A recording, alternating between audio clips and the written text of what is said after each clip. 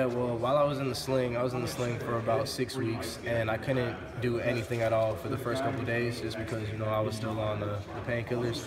But then after that, they were, they were able to slowly bring me along. Um, I started off biking. I actually did a lot of biking during the spring, and then once I got out of the sling and, you know, they felt my shoulder was uh, stable enough, I was able to start doing some running.